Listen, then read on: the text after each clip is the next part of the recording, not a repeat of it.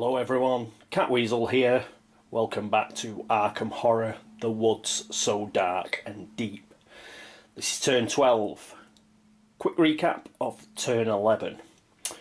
Well, um, Rex came out at the witch house from the abyss and sealed the gate. We now have four sealed gates.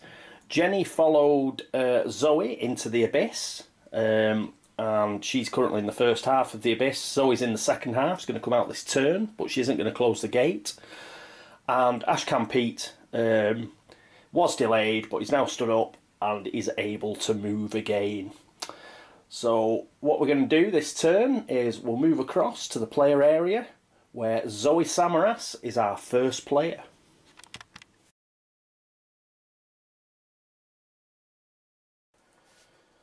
And here we are with Zoe. First thing we're going to do is we're going to refresh a healing stone and then we're going to exhaust it again like I forgot to do last time and she's going to get an extra stamina. So she's now up to five. Um, she's just coming out this turn so what we'll do is we'll use a one focus, put her uh, put a speed up and then hopefully by next turn when she actually gets to move out into Arkham again she'll be back up at four. So I think that's it for Zoe. There's nothing else we have to do. No, that's it. So next up is... Oh, yes, there is. Obviously, first player. So she gets a clue token as per Rex's personal story. So she's up to two. Well, three, really. She's got the return research materials. Okie dokie. Next up, Jenny Barnes. And here's Jenny. So she gets a $1 for a trust fund. And then we just have to roll to see if the bank wants any of their interest back on the loan. They do not. So she's now up to $8. Funky. Um, there's nothing else she has to do um, as regards upkeep, I don't think. We've got speed as high as it'll go for a... I don't think we'll bother putting that down. Um, she only got one focus. Um, oh, what we will do though, she's going to have to close the gate with fight. So we'll move up a fight as uh, much as possible. She has got four law as well, but she's got the head wound, so she'd only have three dice. So this puts her up to four, which is a highest. Okay, next up is Ashcan Pete. And here we are with Ashcan. Um, although he hasn't had a particularly nice game, personally, he has done a lot of good things for us. And hopefully he's going to carry that on by carrying, carrying on going through the Great Hall of Celaeno. And he will hopefully get out next turn. But as it stands, there's nothing we particularly want to change. He's got one focus. Um, we'll keep his sneak at four for the time being. We'll move it up. Um, once he's ready to come out of the gate. Right, so that's it for Ashcan. Let's go over to Rex. And here we are with Rex. So, what we're going to do with Rex. Well, Rex is currently at the Witch House. So, starting to think where to go. I think we're going to send him to the general store. I want to keep him roughly in the, the centre of the board. Uh, just in case another gate opens or there's a gate burst or something, and um, want to make sure he can get to wherever wherever he might have to go. So he's going to go in the general store. He's got loads of money anyway, so may as well see if he can get something decent. And uh, as part of that, that will only be one, two, three movement. So he will be able to use the Cabala of the Saboth and yeah, he can use the Cabala of Saboth uh, rather than the Book of Dzyan. Um, we'll see if we can he, he, can get a decent skill, and um, he'll do that as well. And then he'll try and buy something decent at the general store. Right. So is there any? Oh, retainer. That's two dollars. Well, actually, hang on. Let's put let's take three, put them back, and give him another five dollar token. So he's got twenty two, got twenty one dollars rolling in it. Okay, uh, roll for the retainer, see if he keeps it. No, he finally loses his retainer.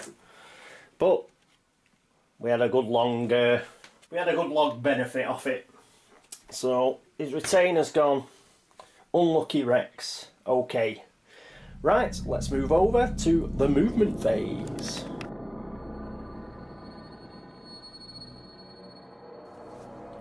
And here we are at the movement phase. So first up is Zoe, who's going to the Black Cave. After Zoe, we've got Jenny Barnes, who's going to the second part of the Abyss. Then we've got Ashcan Pete, who's going to the second half of the Great Hall of Celaeno. And then we've got Rex, who's going to go one, two, three. Then he's going to use two of his six movement points. Uh, he's got six because of Eric Colt, who gives him an extra two. Um, we're going to try the Cabala of Saboth. See if we can get a skill. So let's have a look. Movement. Exhaust and spend two movement points to make a law minus two check. If you pass, draw one skill and discard the Cabala of Saboth. He's tried this a couple of times, hasn't he? Without much success, from what I recall. Um, so he gets three dice because he's got five law. One, two, three.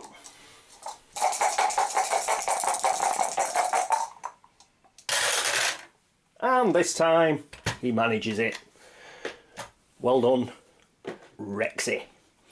Right, so we can discard the Cabala of Saboth. Goes on the bottom of the deck we get to draw a skill. So what we got? Bravery. Any phase, exhaust to re-roll a horror check. Eh, not too bad. Always nice to get a re-roll.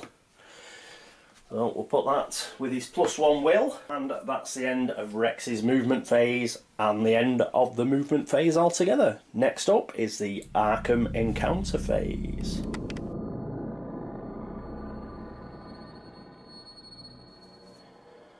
First up in the Arkham Encounter phase is actually Zoe. But what have I forgot? Tell you what I forgot. The Explore token. Again.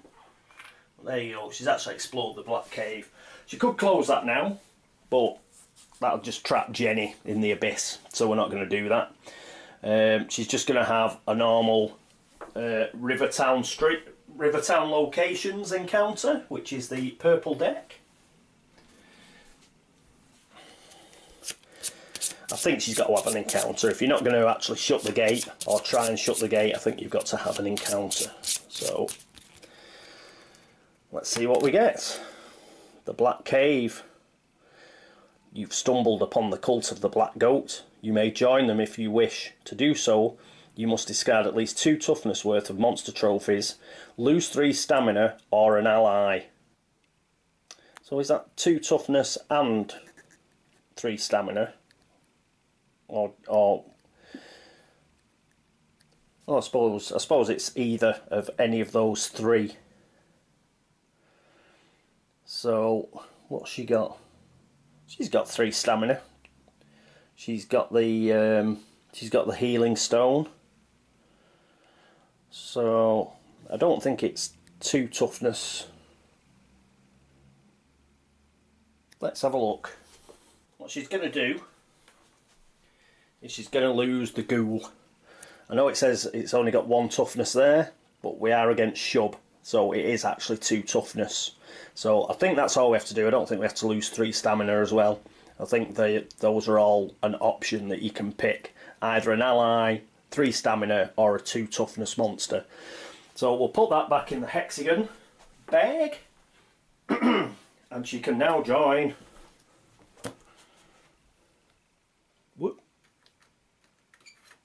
the Cult of the Thousand. Woohoo! There we go. Put that on a play tray. She's now a member. And I don't think you have a Black Goat encounter as well. So, but next time, next time she goes to the Black Cave, the woods, or uh, the Unvisited Isle, she can choose to have a Black Goat of the Woods encounter. Okay, So that's it for Zoe. Next up in Arkham, it's Rex, and he's at the general store, and he's going to draw three common items and do a bit of shopping. So let's see what comes up. A 38 revolver, food, rubbish, or another 38 revolver. Yeah, well, let's have a look. Um, may as well buy the 38 revolver. So, we'll discard the other two. We'll put the 38 revolver on the bottom. Not that it makes much difference, but uh, I think we'd rather have that than food if Ashcan goes back that way, which I very much doubt. But a 38 revolver to go with his cavalry sabre and ancient spear. Right, okay, so that's Rex's turn. That's the end of the Arkham encounter phase. So next up is the Otherworld encounter phase.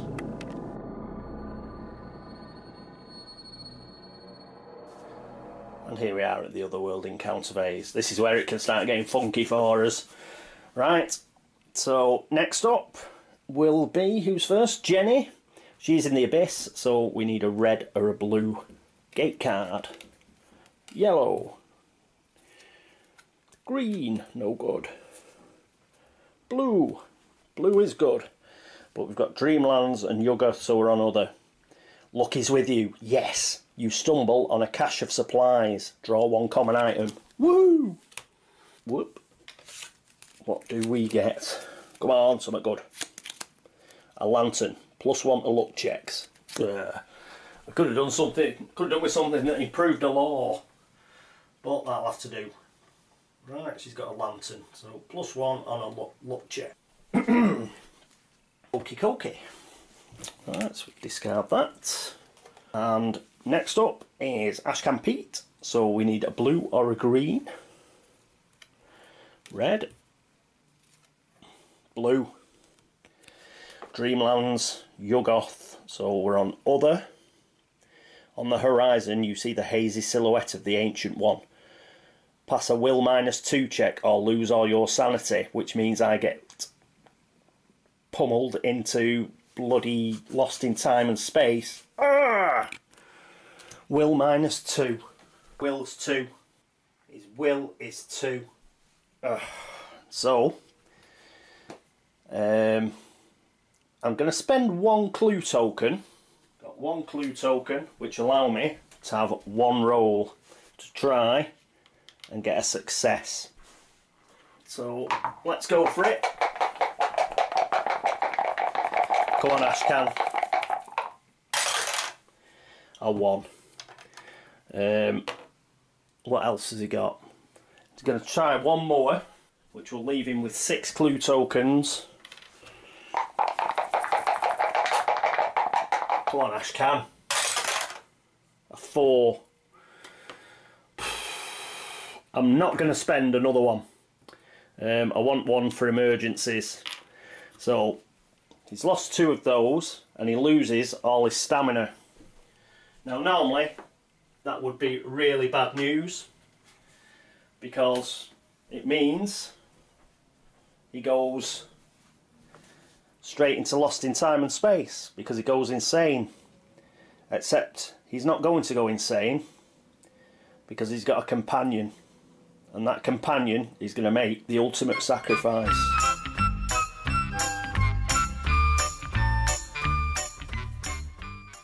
Hello everyone, Catweazle here. Yes, I cocked up large. Um, what happened was, um, we got to the bit where we had the will minus two check, uh, which he had to pass, pass uh, to lose all his sanity. Uh, he had a go with two clue tokens and uh, didn't manage it. Well, what happened after that was um, I discarded Duke to get all his sanity back, but that's wrong because Ashcan would have actually gone insane first. So I can't do it, which in a way is good. We don't want to get rid of the Duke, do we? So what I'm going to do is he's still got six clue tokens. So rather than having that one spare, I'm going to have to try and spend it and get past it this way. Um, so he does get one more clue token. And I've just noticed something else that I should have used first. But we'll give him this clue token first because serve himself served me right for being too eager to get rid of Duke. So here we go. A one, so he loses that. Um, he's down to five clue tokens. There is one thing he can use though before he actually um, has to go through the rest of his clue tokens, which he'll have to do because um, we can't really let him go a time and space. I forgot about this, which is The World Ain't Big Enough for Us, which is the relationship card between him and Jenny. If you or your partner is in another world location, either of you may exhaust this card before making a check to gain plus one on that check. So he's going to use this now. So he's going to get one more dice and see if he can get the success he needs to stop him going insane. Come on, Ashcan. A four. Damn it. So that didn't work. So now we're just going to have to go through the clue tokens he would normally use to seal the gate. Um, oh, what a pain. Right. So he's got five. So he's going to spend another one.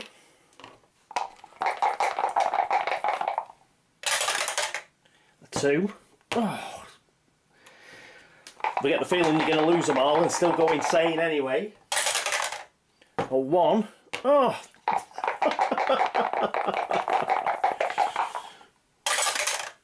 oh, not another one. Come on. A three. And his last one. Whoop.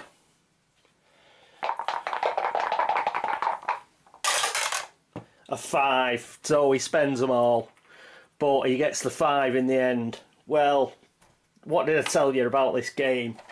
Mind you, it'd help if I played the rules properly. Um, oh, right. So he finally avoids going insane, but he's got absolutely no clue tokens left now, I'm afraid. Um, so all he's going to have to do is he's going to have to go through and just um, probably just close the gate, to be honest. Um, I did play through the rest of this turn, and I played through the next turn as well. So what I'm going to have to do is totally replay the next turn. Um, I haven't uploaded it yet, I haven't edited it yet. It was just, um, I just uploaded this, this one to YouTube, and I was just checking through it, and then I just thought, hang on, he would have gone insane before he could have got rid of Duke uh, I went and checked it on the uh, frequently asked questions and stuff, and sure enough, um, I should have done it the way I've just done it there. So where we're up to is Ashcan Pete has got absolutely no clue tokens left, but he hasn't lost Duke, and he's still um, and he's still ready to come out of the Great Hall of Celaeno next turn. But unfortunately, he won't be able to seal the gate. He'll only be able to close it.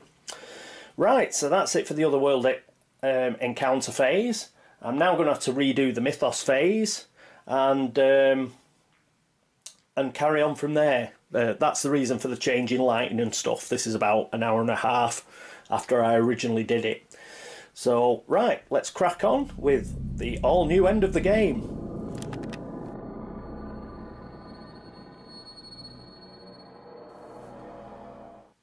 Hello everyone, Fred Karno here. Yeah, um, here's the Mythos phase that I'm going to have to redo. Um, yep, the old laugh and chuckle phase, except this time it was the Otherworld phase that was a laugh and chuckle phase. Um, yeah, what's happened is I've had to redo that because obviously Ashcan Pete was getting rid of Duke to save his sanity, but he couldn't do it. So he had to spend all his clue tokens and he had to exhaust um, the relationship card. Uh, finally managed to get the success he needed, but now he hasn't got a clue token to his name. Uh, so what I'm going to do is I'm going to redo the Mythos phase. previous Mythos phase that I did, um, we got a surge at the Black Cave. Um, so we got a few um, we got a few monsters and stuff, but I've put them all back into the into the bags, um, and I'll pick another one. The the reason I'm picking another one is because like um, if I pick the same one, um, then I'd know what to do next turn. Because I redid, I, I did the next turn as well, and we ended up winning. so it just seems like playing the same Mythos card again doesn't seem right. So uh, I think I've put everything. But oh, I'll tell you one thing I haven't done. Um, part of that Mythos card, we got a clue at Hibbs Roadhouse. Well, we don't have the clue at Hibbs Roadhouse now because we're going to pick a new Mythos card, and hopefully um, it won't be a gate or a, or a gate burst. Right, okay. Oh, it's a witch house. In fact, it's even better. We don't get any monsters this turn. So that was lucky. Uh, and now I'm thinking, should I put the old one back? Um, is it is it fair? Should I pay? I think I should play Sunny and Clear, shouldn't I? Because this is miles better off. And in fact, these things like taking. Oh well, there is no monsters in the Rivertown streets, but we get a clue at the Black Cave and stuff. Um, yeah, what I'm going to do is I'm going to put the original one back in. Uh, the reason for that is is um, that's ridiculously much better. Um, so I will put the the sunny and clear one, which was the one I got last time. So we'll swap that with an evil fog. Um, and discard that and put this one uh, yeah it doesn't seem it doesn't seem fair getting one that's even better so sunny and clear is going to be a card um, so I'll put that clue back at Hibbs Road House. and what else was there yeah I had to do the surge which was four monsters uh, so I'll repick those. The first one is a Spectral Hunter. Doesn't move. It's ambush, can't evade it. It's got three bloody toughness. That's going to be nice for Zoe to sort out. And I'll draw another one that comes out the outskirts, which is a werewolf. Both of these are worse than last time. I got a Maniac and I think it was a Hunting Horror last time. And we get two. a Dark Young and a Ghoul. So they're in the outskirts. Right. Ugh. Okay. Um, let's have a look. We've put the clue back.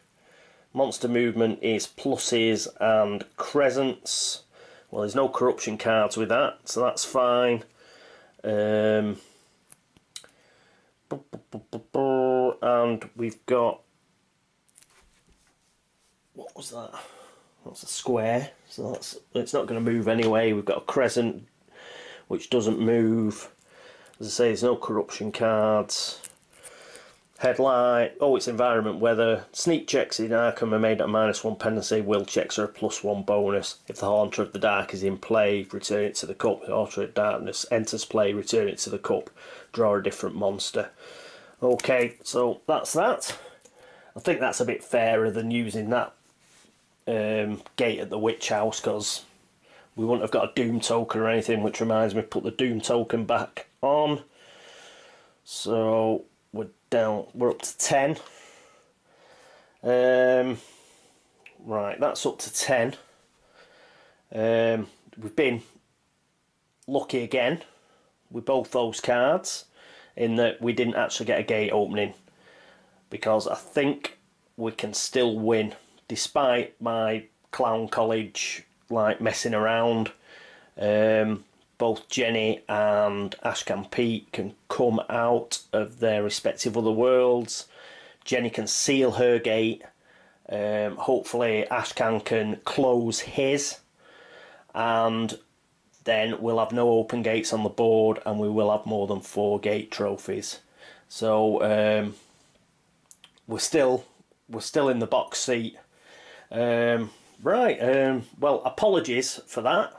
Uh, apologies to those of you who were actually watching the episode when I took it down, but um, I was um, I was going through it. I think Log was watching it, um, but I did notice um, while I was reviewing it, and uh, I quickly went and checked the frequently asked questions and realised that I couldn't do what I'd done.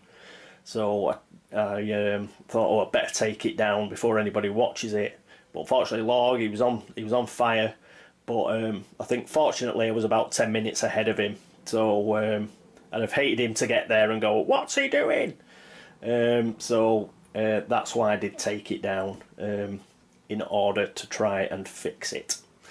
Um, okay, um, what I think I'll do now is I'll uh, go straight into the next turn and try and finish this off tonight, I think. Right, um, thanks very much for watching. Thanks very much for the um, subscriptions and all the views and um, the comments.